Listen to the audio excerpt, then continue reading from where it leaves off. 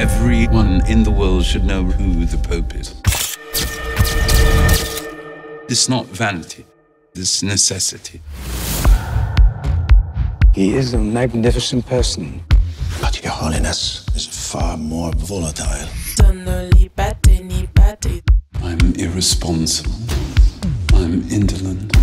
I'm pompous. I'm conceited. Have you finished, Holy Father? Is that not enough? See you, there's something to Is there any possibility Pius XIII could wake up? Oh, continue to need. And you're still alive, even though he doesn't know it. Doesn't matter. I am the Pope.